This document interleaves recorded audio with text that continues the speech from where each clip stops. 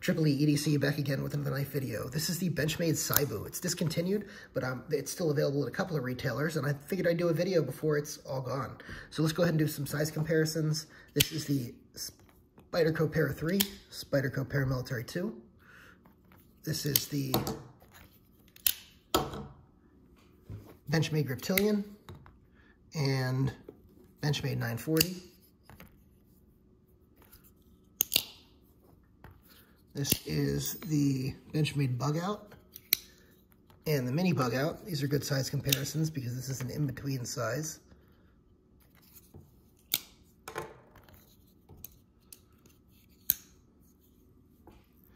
And last but not least, we'll do the Monterey Bay Knives EWC and the Spyderco Chaparral.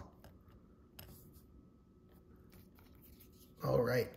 Um, let's go ahead and talk about the good and the bad of this knife. So first of all, the aesthetics on this are awesome. You have uh, this milled G10 that has nice texture on it. You have Cocobolo wood here.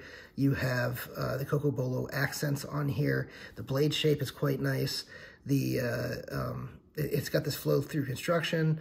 And uh, one of the things that I like that's a really good touch is something that's also present on a really high-end knife, the the um, Koenig Arius. So look at the hardware on the Koenig Arius, right? Uh, not necessarily this over here, but the pivot. It, it, has that sort of indented, almost conical, you know, interior of a, of a cone type uh, sh shape to it. Look at the pivot here, and look at the body screws.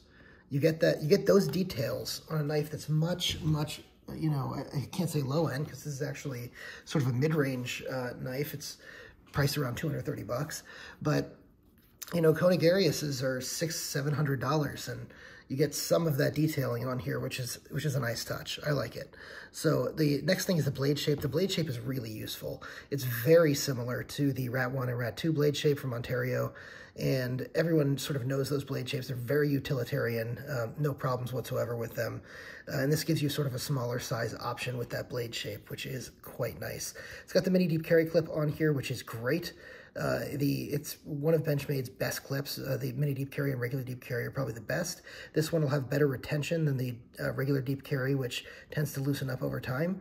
So that's quite nice. And um, uh, by the way, one thing to point out is this lanyard does not come standard. So just be aware of that.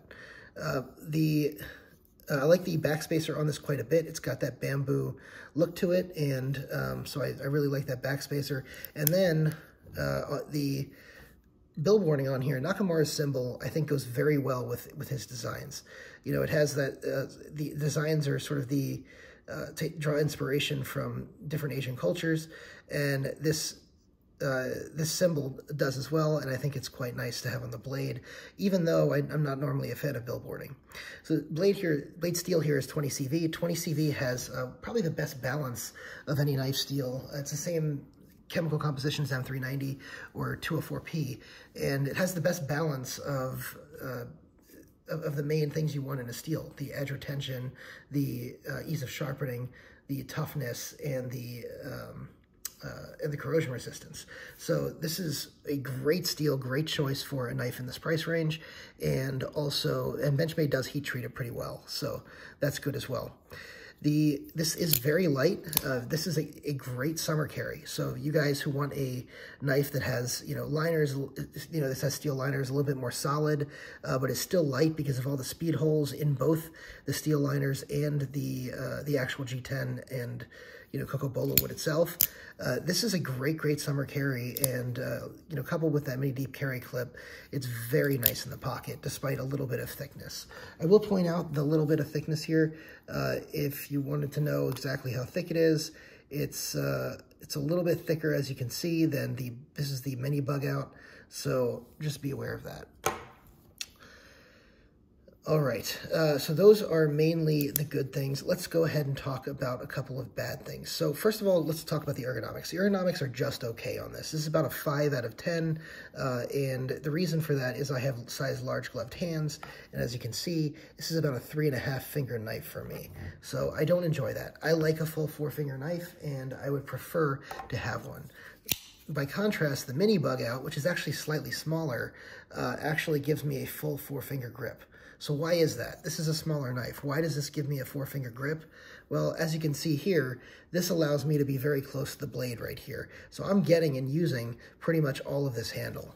However, on this one, I have to be, this forces me to scoop back. So I'm sitting back on the blade now. There's a couple of problems with that. One is it knocks my pinky off the blade. Two is that it creates too much space between here and the blade. I like to be on top of the blade. Does this stop me from getting on top of the blade? No, I can I can do like this and bear down, but this is not comfortable for my pointer to be doing that, and I de definitely don't enjoy that. I like to be closer to the blade, so that's a little bit of a problem for me. Uh, the, the Another thing is the clip right here. So this is a little bit ugly. Now, I understand you, you have... Uh, tip up right hand left hand carry. And this is a production you know uh, production knife so we want to make it accessible to both righties and lefties. I will say uh, most of the time i support you know two two way or four way pocket clips. But on this particular design i think this just takes away so much from the rest of the design that i wish they had left it off on this particular knife. So sorry lefties um, that's what i would prefer, prefer on this particular knife. However you know they have it there so lefties you're good to go. So uh, th those are the mainly ugly things. Uh, one last note is the price is is about 230 bucks. So for the materials you're getting here and uh, considering Benchmade's, you know, comparable knives in, in, the price range, I actually think that's fair. It, it, it's a little bit high. Uh, it's definitely competing against a lot of really, really nice knives in that in that price range. And I wouldn't necessarily you know, say that this is going to be the first one I would recommend out of all the lists of knives that are available over $200. But I will say that it, it does hold its own. It's very, it, it's a good knife for the price. And if you can get it for even cheaper, especially, you know, from some of the stores where it's discontinued, I would definitely recommend picking one up, uh, especially if you can get it under 190 bucks. So uh, then I would definitely recommend it. At $230, honestly, there's a lot of knives I'd take before it.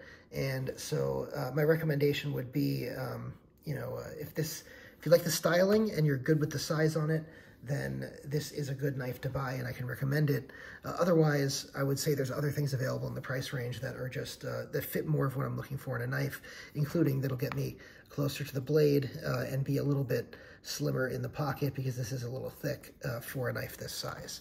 So that's it. Uh, if you guys want to hit the subscribe button, I'd appreciate it. Go ahead and drop a comment. Let me know what you think of this uh, of this knife and uh, of the review. Also, go ahead and hit the like button and hit that subscription bell so you can get all my content. Thanks so much.